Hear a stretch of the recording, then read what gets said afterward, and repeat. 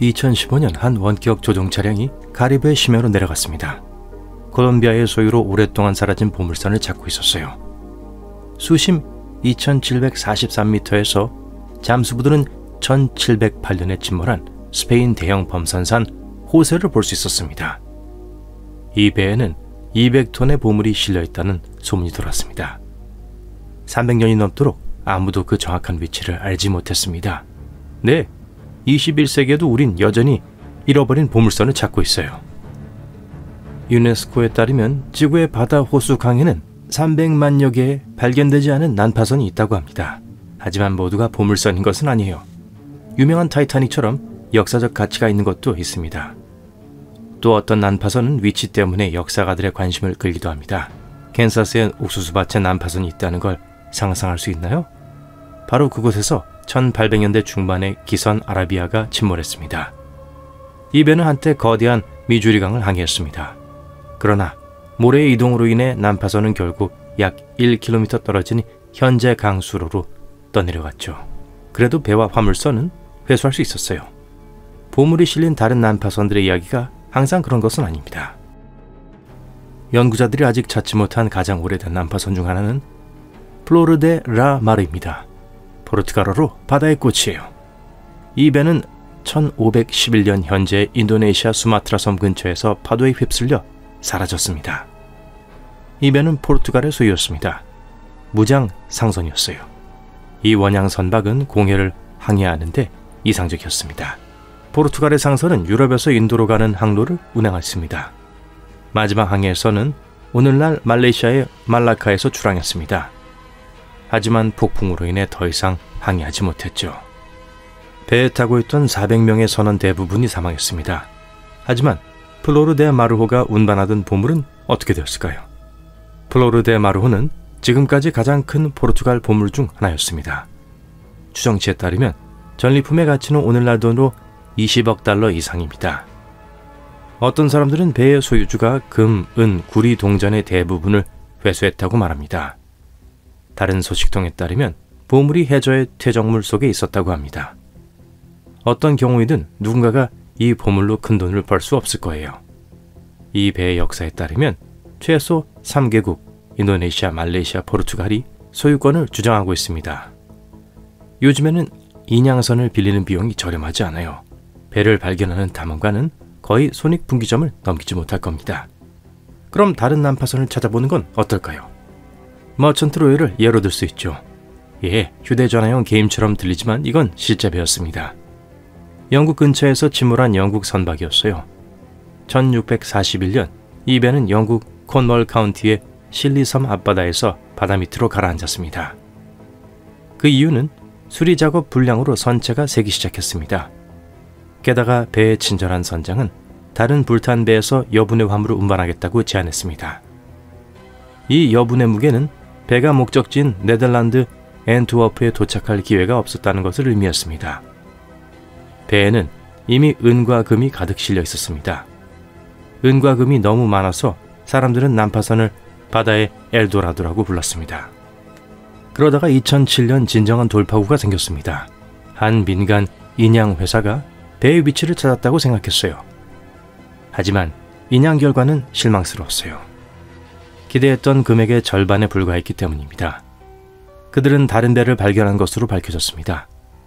영국 화물선이 침몰한 지 1세기 반 이상 지난 스페인 선박이었습니다.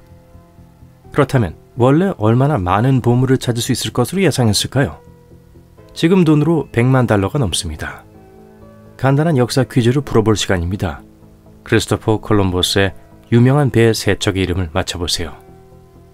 네, 니나호와 핀타호가 있었고 세 번째 배는 무엇이었을까요? 산타 마리아호가 정답입니다. 그리고 이 배는 신대륙에서 돌아보지 못한 유일한 배였어요. 산타 마리아는 다른 두 선박보다 두 배나 컸어요. 1492년 히스파니올라 어딘가에서 좌초되었어요. 이 땅에 대해 들어본 적이 없더라도 걱정하지 마세요. 바로 현대의 IT입니다. 미국 탐험가 베리 클리포드는 2014년에 전설의 배를 발견했다고 생각했습니다. 하지만 유네스코 전문가들은 빠르게 그를 반박했습니다. 난파선에는 17세기 후반과 18세기 선박에서 흔히 볼 수 있는 구리 고정 장치가 있었기 때문입니다. 콜럼버스 당시 조선업자들은 나무나 철을 사용해 선체를 만들었죠. 그래서 수색은 계속됩니다. 하지만 이 경우에는 돈이 주요 상금이 아닙니다. 산타 마리아 호를 발견한 탐험가의 이름은 역사책에 기록될 것입니다. 그것은 어떤 현금 보상보다 더 가치가 있죠. 배가 침몰할 때 가장 먼저 의심되는 것은 악천후입니다. 예를 들어 북대서양에서는 파도가 높이가 19m에 달할 수 있어요. 하지만 악천후가 항상 원인인 것은 아닙니다. 예를 들어 가장 호화로운 증기선 중 하나가 다른 선박과 충돌하여 침몰했습니다. SS 아크틱은 1854년 캐나다 뉴펀들랜드 해안에서 프랑스 증기선과 충돌했습니다. 이 사고는 수십 년 후 타이타닉이 침몰한 곳 근처에서 일어났습니다. 두 침몰 모두 같은 항로에서 발생했죠. 아크틱은 인상적인 배였습니다. 미국에서 유럽까지 단 10일 만에 횡단할 수 있었죠. 오늘날의 제트 여객기에 해당하는 19세기 선박이었죠. 하지만 그 끝은 그렇게 영광스럽지 않았습니다. 대서양 양쪽의 신문들은 선원들의 행동에 대해 기사를 썼습니다. 선원들은 가장 먼저 구명보트에 뛰어들었고 승객들은 스스로를 지키도록 버려뒀어요. 모든 사람이 타기에 구명보트가 충분하지 않았습니다. 제임스 카메론 감독의 1997년 영화 타이타닉의 한 장면이 떠오릅니다. 아크틱의 잔해는 지금도 바다 밑바닥에 가라앉아 있습니다. 그 정확한 위치는 아직 알려지지 않았습니다. 호주에도 침몰할 수 없는 배가 있었습니다. 그리고 네, 결국 침몰했습니다. 호주의 SS 와라타는 1908년 런던에서 시드니까지 천여 항해를 마쳤습니다. 1년 후 이 영국 여객선은 다시 호주로 항해하고 있었습니다. 하지만 문제가 있었죠. 배의 무게가 너무 무거웠고 선내에서 화재가 계속 발생했습니다. 남아프리카 해안을 따라 항해하는 것은 이상적인 조건 아니었습니다.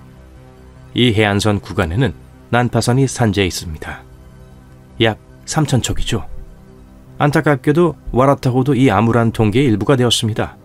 더반과 케이프타운 사이 어딘가에서 사라졌어요. 배는 허리케인 속으로 항해했고 아무도 그 배를 다신 보지 못했습니다. 이것은 바다에서 일어난 가장 미스터리한 실종 사건 중 하나입니다. 연구자들은 와라타호를 호주의 타이타닉과 남아프리카의 잃어버린 배라고 부릅니다.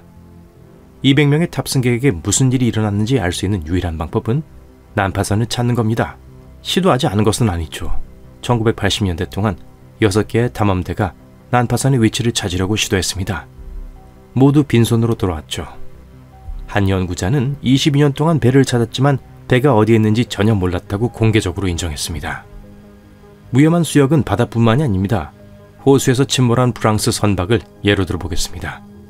배의 이름은 그리폰이었어요. 이 배는 미국과 캐나다 사이에 5대호를 항해하던 가장 큰 배였습니다. 1679년 8월 이 배는 미시간 호수의 한 섬에 상륙했습니다. 이 배와 선원들은 아메리카 원주민과의 무역 임무를 수행 중이었습니다. 동물 가죽을 실은 후 그들은 그린베이로 항해하기 시작했습니다. NFL 팬이라면 이 도시가 어디 있는지 알 거예요. 하지만 배는 폭풍에 휩쓸려 목적지에 도착하지 못했습니다. 여기에서 이야기의 신비한 부분이 시작됩니다. 호수 바닥에서 난파선을 찾는 것이 쉽다고 생각할 수 있습니다. 미시간 호수의 평균 수심은 85m입니다. 지구 바다의 평균 수심은 3,700m예요. 이런 수치에도 불구하고 아무도 300년 이상 난파선의 위치를 찾을 수 없었습니다. 그리폰은 지역 보물 사냥꾼들에게 전설 같은 존재가 됐어요. 현지 다이버와 그의 아내가 2018년 파버티 섬 옆에서 이 배의 잔해를 발견했다고 주장했습니다. 엄청난 보물을 발견할 수 있는 좋은 장소처럼 들리죠? 하지만 이 분야의 전문가들은 아직 이 부부의 주장을 확인하지 못했습니다.